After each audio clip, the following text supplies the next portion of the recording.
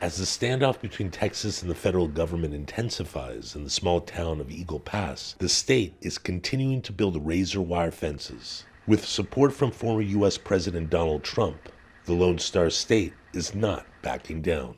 Our border has become a weapon of mass destruction, our destruction. You know, it's our, it's, it's a weapon of mass destruction.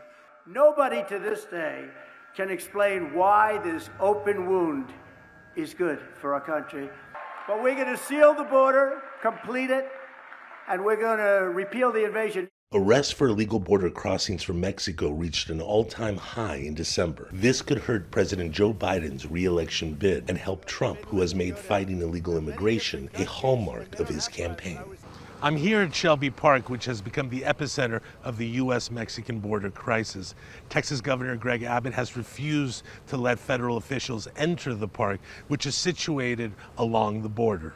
The park has turned into a battleground between the Biden administration and Governor Greg Abbott. After the Texas Military Department seized Shelby Park, two children and a mother drowned in the Rio Grande. Democratic leaders have accused Texas officials of blocking federal officers from helping them. And I've been very clear about this um, uh, that this governor has done over and over again is uh, treated this this uh, situation that we're seeing uh, at the border in an inhumane way.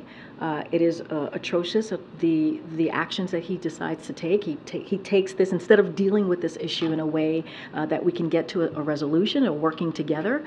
he turns it into you know he turns it into a political stunt. But the Texas governor has the backing of almost all Republicans in Congress and the Republican Governors Association, who want him to remain firm against the Biden administration. But I want to say a special thank you and salute to Texas. You have borne the brunt of this, and we, we will not let you down.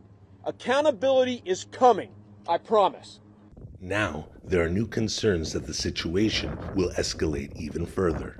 The Take Our Border Back convoy, made up of right wing groups protesting Biden's immigration policies, is expected to arrive in Eagle Pass on Saturday. It is not clear what the group plans to do once they reach the border.